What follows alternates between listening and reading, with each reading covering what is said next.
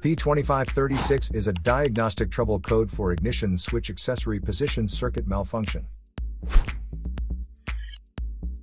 Under this circumstance, stop driving and repair your vehicle immediately.